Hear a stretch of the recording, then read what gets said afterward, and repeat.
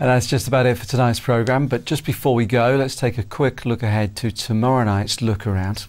Thousands of teenagers across the region are nervously waiting to open their A level results in the morning. We're going to be talking to two people who took two very different routes for their further education.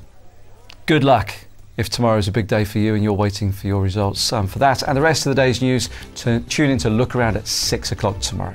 And if you want an update on today's news, I'll be back at 10.30 for that. Do join me then. Bye-bye and thanks for your company. Bye-bye.